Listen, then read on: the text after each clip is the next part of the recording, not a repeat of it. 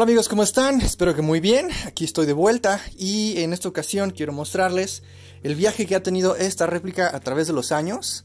La cual, eh, bueno, esta es creo que mi tercera réplica, pero la compré por ahí del 2010, 2011 más o menos, ¿no? Entonces, así como la ven aquí, es como venía de fábrica. Sin embargo, fui comprando eh, eh, piezas y partes externas para irle cambiando todo el look. Y bueno, eh, yo teniéndola ahí guardada dije, bueno, vamos a ocuparla para hacer un video divertido. Quiero enseñarles a ustedes cómo podrían customizar una réplica o las partes que necesitarían como para poder customizar una réplica externamente, ¿no? Entonces, este, empezamos con que este es un modelo muy sencillo. Como pueden ver es un M4 o un AR15. Eh, lo único que está un poquito diferente es la culata, pero ahí ya no encontré la culata original para ponerla. Pero en general así es como vendría un AR-15 o M4 este, de, fábrica, ¿no? En donde tiene este, su eh, manija para cargar, que también es la mira.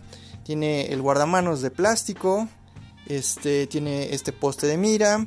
El cañón es creo que de 14 pulgadas y etcétera, ¿no? Entonces esta sería como una de las réplicas más básicas y más sencillas que podrías comprar en el Airsoft, hablando en cuanto a forma. Este en sí es una G&G GR16 R4 Comando, que en su momento me salió en 320 dólares. Ahora esta vendría estando en la línea eh, Top Tech, que es decir, como la gama alta de G&G. Y bueno, esta pequeña réplica ha pasado por muchas, muchas tiradas. Este, inclusive todos los internos ya fueron reemplazados alguna vez. Y si eres de la vieja escuela, sabes que Sistema hacía todavía internos para este tipo de réplicas. Y bueno, todos los internos de esta réplica son Sistema, Entonces, eh, más o menos fueron 320 dólares por la réplica inicialmente y después fueron otros 300 o 350 dólares por los internos. Sin embargo, ya está retirada, ya no la utilizo mucho en partidas porque pues ya tengo eh, otras réplicas que me dan un poquito más de prestaciones. Pero quise desempolvarla para mostrarles a ustedes cuál fue el viaje que tuvo a través del tiempo, todas las piezas que conseguí y cómo es que tú puedes hacer que una réplica sencilla como esta se vuelva una un poquito más táctica, un poquito más funcional y pues, que además se vea muchísimo más cool. Entonces vamos a empezar. Ok, el primer paso que tomé para eh, mejorar su funcionamiento, volverla un poquito más táctica, fue añadir un sistema de rieles. Saben que normalmente podrían traer este que es de plástico, sin embargo no, trae rieles. O hay algunas que ya lo traen de fábrica, lo cual pues, también es bueno. Sin embargo, para esta lo que hice fue en su momento adquirir un, un RIS. Se llama RIS porque es un Rail Interface System, en donde va a tener estos rieles de aquí, el cual se llama Riel Picatinny o Military Standard 1913 Picatinny, ¿ok? Este es un riel estándar en donde se van a montar la mayoría de los accesorios que ya existen en el mercado, porque hagan en cuenta que los diferentes fabricantes de armas pues se han puesto de acuerdo y han incorporado este riel a sus diseños. Entonces lo primero va a ser montar este riel a la réplica y lo vamos a hacer aquí. Siempre para trabajar con cualquier réplica o inclusive con un arma de fuego, lo que sea, lo, lo que tenemos que hacer primero es ver que esté descargada. En este caso no trae batería, pero también le voy a quitar el magazine. Este, voy a ver que no, en efecto, no, dispare. Este, y bueno, esto ya es una forma muchísimo más segura de trabajar y es lo que les recomiendo hacer primero que nada. Entonces, lo que voy a hacer es cambiar esta parte de aquí que se llama guardamanos, en donde en este modelo se quita de una manera muy sencilla, con este anillo que se mueve hacia atrás. Entonces voy a retirar la parte de abajo y después la parte de arriba. ¿Ok? Estas piezas las puedo guardar o las puedo este, vender, como ustedes quieran. Yo las conservé para tener varios looks en mi réplica y también pues, para poder mostrarles a ustedes cómo es que se hacía este procedimiento, ¿no? Ahora, es muy, es muy importante ver que el sistema que compres de rieles sea compatible con lo que ya tienes en tu réplica y si no también necesitas saber qué es lo que necesitas para hacer que funcione. En este caso, este es una reproducción de un riel de Knights Armament que fue diseñado específicamente para trabajar con las monturas que ya tenían los AR-15 o M4 americanos. Entonces, este se puede reemplazar ahí sin ningún problema. Lo que hay que hacer es dividirlo. Vamos a ver que aquí arriba tiene un tornillo, el cual necesitamos quitar. Y ya que quitamos el tornillo, aquí va a bajar esta patita. Este sistema es específico para este riel, si tú tienes otro, eh, muy probable es que funcione diferente. Pero bueno, con esta patita lo que vamos a hacer es ponerla en esta sección donde simula, donde está simulado el tubo de, gas. Entonces vamos a tomar la réplica, vamos a meter aquí la patita hacia abajo. Ok, ya que se metió aquí la patita, escuchamos cómo hizo clic, lo que vamos a hacer es levantar tantito el riel, empujarlo hacia adelante primero para que entre en este anillo. Y ahora vamos a empujarlo hacia abajo. Tenemos que ver que esté bien sujeto a este anillo. Aquí en este caso ya está eh, bien montado, como pueden ver aquí. entonces lo único que voy a hacer es poner la parte de abajo de la misma manera. Acuérdense primero la parte de enfrente y luego la parte de atrás. Ya que hace clic, lo que voy a hacer es poner este tornillito donde estaba de inicio. Y listo, ya tenemos aquí este, una réplica con riel. Eh, aquí en la mía tengo instalado unos rieles. Estos son para que si tú la quieres agarrar así, eh, sea muchísimo más confortable porque aquí está como levantado sobre el riel y además este es de un plástico suave entonces este se siente muchísimo mejor al tacto ¿Y para qué tener un sistema de rieles? Pues bueno, aquí le puedes montar una lámpara, un láser o un grip, como este que tengo aquí. Este es un grip de 3D Tac, es el modelo Avenger y eh, se lo voy a poner. Entonces, este, hagan de cuenta que lo que vamos a hacer nada más es deslizar aquí los accesorios. Se van a agarrar al riel y como pueden ver aquí ya tiene los espacios para los tornillos. Nada más hay que ajustarlos y ponerlos en una parte donde no se obstruya por una costilla del riel. Entonces aquí ya se podría poner y listo, ¿no? Entonces aquí ya está puesta esta pieza. Podemos manipular el rifle de una manera muchísimo más sencilla. Este de aquí, que sería el tradicional, igual lo puedes poner aquí, lo atornillas y listo, ¿no? La cosa es que eh, aquí es mucho de preferencia personal y a mí siento que me funciona mejor este tipo de grips con ángulo, entonces por eso decido ponerle uno de estos. Ok, ya que tiene el riel, ahora lo que vamos a hacer es cambiar todo el sistema de mira y para eso vamos a tener que quitar algunas cosas y poner otras. En donde este, lo principal va a ser eh, quitar eh, la agarradera y el poste delantero de mira. Y vamos a empezar con el poste delantero, en donde este, lo primero que vamos a tener que hacer es quitar algunos pequeños tornillos o pines en su defecto. Aquí el mío trae un pin en esta parte de adentro perdón, es un tornillo, este tipo de tornillos se llaman eh, opresores, tornillos opresores, los cuales son muy pequeñitos y van adentro de el, este, del, metal. Pero bueno, ya le quité ese. Ahora, en mi réplica yo tengo una modificación que le hice ya hace algún tiempo, en donde eh, normalmente aquí trae unos pines, pero en vez de pines eh, yo le hice la adecuación para que fuera con unos tornillos y de esta manera poder ponerlos y quitarlos más veces, más rápido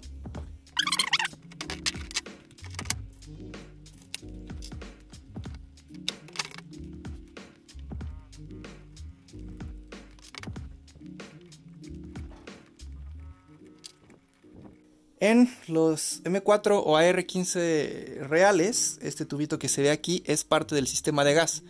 Entonces cuando lo quitamos necesitamos reemplazarlo por otra pieza que se llama Gas Block, el cual eh, tengo uno aquí y es el que voy a poner en, la réplica.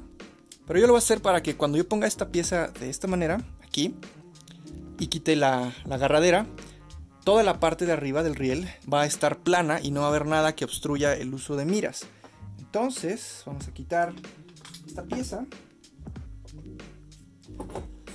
Y listo, ya eh, retiramos esta pieza y ahora le voy a quitar la agarradera.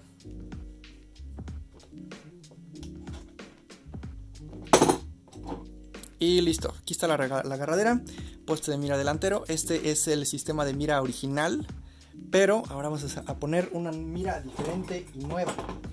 Ok, entonces eh, lo primero va a ser poner el sistema, este bloque de gas, porque si no aquí se me saldría este anillo. Hay otros que no lo requieren o hay otros en donde el RIS ya está sobre el bloque, entonces realmente no hay como se mueva esta pieza. Ok, en estas piezas, en estos gas blocks, hay que ver que este, algunos se ponen con pines como este y además traen aquí abajo un pequeño opresor. Entonces lo que vamos a hacer es primero sacar el pin y después sacar este opresor para que logre entrar por el cañón. Ok, y ya que está aquí, entonces ya lo podemos mover. Aquí va a tener un pequeño orificio donde va a entrar este pequeño tubo. Vamos a moverlo y que entre ahí en el orificio del gas block y listo, ¿no? Entonces, este, aquí ya está puesto el gas block. Ahora nada más hay que pasar el pin que traía este. Cual lo vamos a hacer así, nada más lo vamos a poner aquí. Y podemos pegarle con una herramienta, realmente puede ser la que sea. Si tienen un martillo de joyero o un martillo chiquito es mucho mejor, ¿no? Pero bueno, aquí de esta manera, como les decía, aquí ya tenemos toda la parte de arriba eh, completamente plana. Y podemos ya montar la mira o el óptico o lo que queramos, ¿no? Entonces vamos a poner aquí un par de embus que son, bueno, estas son una reproducción de miras mecánicas tipo Magpul, esta es la primera versión. Pero para el caso creo que nos van a funcionar bastante bien, entonces lo que vamos a hacer es quitarles aquí el tornillito que traen. Y vamos a ponerlas esta es la mira delantera. Que va a ir aquí al frente. Lo voy a poner en el último agujero del riel. Tengan cuidado de no perder estas tuercas. Ponemos la tuerca y pasamos el tornillo. Estas miras, estas reproducciones de Magpul, he visto que las pueden encontrar en Wish. Hasta por 100, 120 pesos. Eh, hay una persona aquí en México que las está vendiendo en 400. Mejor no paguen eso. Espérense eh, unas 2, 3 semanitas. Estas no tienen que, ningún problema en aduana. Entonces pídenlas directo de Wish y pues se van a ahorrar ahí unos pesos. Y pues también no hay que fomentar ese abuso, ¿no? De subir los, los precios un 200, 300%. Entonces, este, vamos a poner esta en la parte de aquí donde no obstruya la palanca de carga. Que realmente no hay ningún problema porque la palanca de carga en este rifle no tiene función. Pero pues para que se vea bien, para que sea más táctico, para que a tu amigo el, milcimero no le dé un, aneurisma, pues las ponemos ahí más o menos donde tienen que ir, ¿no? Entonces ya tenemos un sistema de mira eh, nuevo en donde este, nosotros podemos levantar las miras y ya de esta manera podemos apuntar, ¿no? Estas miras son ajustables, aquí trae su perillita esta y esta aquí trae un tornillito que podemos ir moviendo hacia arriba y hacia abajo. Y este sí es muy importante ajustar tu mira. De hecho, si quieres saber cómo ajustar una mira, ya sea de estas o de punto rojo, te voy a dejar un videito aquí arriba. Y bueno, vamos con la transformación. Ahora, este, lo que le vamos a poner va a ser un, una mira. Hay varios tipos de miras de punto rojo. Eh, en este caso, yo para esta réplica normalmente utilizo una EOTech 552, eh, como esta, misma que está en el video que te acabo de dejar. Pero bueno, yo utilizo esta porque ya es la, es la que me gusta estéticamente en, esta réplica. Tengo algunas otras un poquito más livianas. Pero bueno, eh, muchas de ellas están montadas en otras réplicas. Entonces lo que voy a hacer es ponerla aquí arriba. Y la forma de poner una mira de punto rojo no es tan pegada a la cara, sino más al frente para que te permita tener visión periférica a los lados del rifle. Entonces, aquí donde me gusta ponerla es más o menos, si alcanzan a ver en, este, en esta costilla o en esta de aquí, donde la vamos a poner así sobre el rifle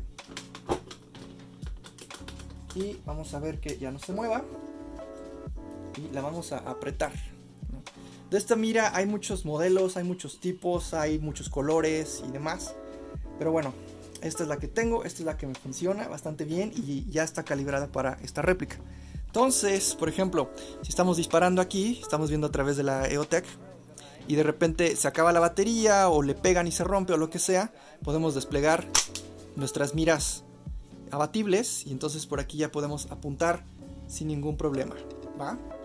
Entonces, este, esa es la, cuestión de siempre traer unas miras mecánicas, las cuales pues no necesitan batería, este, y tú puedes ajustar ahí en el campo y pues también son, son útiles, ¿no? He visto gente jugar sin mira. Y yo creo que sí se puede apuntar, más o menos ver hacia dónde va la bolita. Pero ahí por lo menos vas a usar dos o tres tiros en ver a dónde está volando la Bibi. En cambio, si tienes unas miras bien calibradas, al primer tiro sabes que va a dar en donde estás apuntando. Entonces, yo te recomendaría calibrar bien tus miras. Ahora, sigamos con la transformación. En donde yo en esta réplica este, la modifiqué de tal forma para poder usar dos tipos de cañones. Uno sería un cañón eh, tamaño completo y otro es un cañón corto. Obviamente si yo le pongo el cañón corto aquí, nada más va a llegar más o menos hasta esta parte de aquí. Entonces me va a sobrar todo este cacho de cañón que tal vez no lo necesitaría. Entonces eh, lo que hice fue eh, llevar eh, bueno, desarmar la réplica, sacarle el cañón al cuerpo y todo eso y llevarlo a un tornero. Y ese tornero lo que hizo fue cortar mi cañón y además le puso cuerda en los dos extremos. Le puso la cuerda aquí en, el, en el cañón principal, en este de aquí y por dentro también aquí le puso cuerda, ¿no? Entonces esto me permite tener dos largos diferentes de cañón y en dado caso que yo quisiera, por ejemplo, también usar un supresor para hacer que este cañón sea más largo, lo puedo hacer. Entonces, eh, si no, también lo que puedo hacer es aquí ponerle eh, su, flash hider normal. Y eh, pues aquí ya tendría yo una réplica más o menos del largo de una CQBR o una, de, una Mark 18. Entonces, este, pues bueno, eso es para darte a ti mismo opciones, ¿no? ¿Qué quieres? ¿Un cañón largo, un cañón corto o quieres poder cambiar entre los dos? Eh, a mí me gusta poder cambiar entre los dos porque el cañón largo me da más precisión y más FPS, el cañón corto me da menos FPS, pero eh, por lo regular ese se usa cuando estás en CQB o en combate cercano, ya sabes, dentro de construcciones o en lugares reducidos y así, ¿no? Entonces, eh, pues es bueno tú mismo poder darte tus, tus opciones. Ahora, lo que voy a hacer es este, ponerle un supresor. Porque ese es el look que a mí me gusta. Y vamos a ponerlo aquí. Este es un supresor 3D TAC.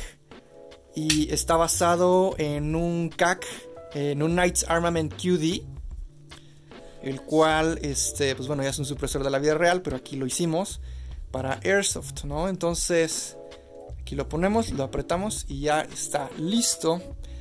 Eh, si yo quisiera ahorita podría meterle el cañón largo, ya que iría de aquí a la punta del supresor. Y bueno, esa sería una, una opción, ¿no? Esta réplica yo creo que ya así está súper bien para utilizarse en campo. Sin embargo, le podemos dar un poquito más de punch. Y por punch me refiero a, ¿qué tal que le ponemos un lanzagranadas, no? Este, como dato curioso, eh, la primera réplica que yo me, armé así muy bien fue esta. Y en ese entonces yo la tenía armada más o menos como la trae el eh, Capitán Price y Soap en Call of Duty Modern Warfare. Este, porque pues bueno, me gustó mucho ese juego y, era el, el, juego nuevo en ese entonces y este todos queríamos traer una M4 como la del Capitán Price, ¿no? Pero bueno, aquí ya está modificada, ya no trae tantas piezas como de Price. Sin embargo, de ese entonces me quedé con esta pieza, el cual es un M203 que se monta al riel. Esta es marca ICS.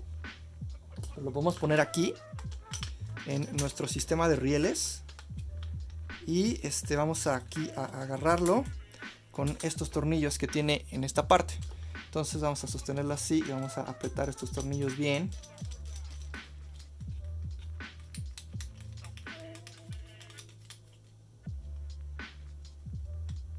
Y bueno, ya con el lanzagranadas puesto, creo que nada más quedaría ponerle su granada. Esta es una eh, granada de, dice Eagle Force, es de 120 rondas, es de gas obviamente. Y lo que hace es disparar como una escopeta, ¿no? O sea, muchos, muchos BBs al mismo tiempo. Y pues se oye bastante fuerte, se siente bastante bien. Y bueno, aquí está la transformación de esta réplica. Tenemos su magazine. Y listo, creo que sí podemos ver el cambio realmente, cómo es que eh, fue la, progresión de esta réplica, cómo es que cambiaron eh, sus prestaciones.